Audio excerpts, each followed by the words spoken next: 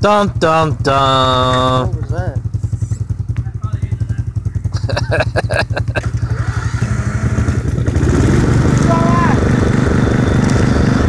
Got water down in the carburetor. Oh.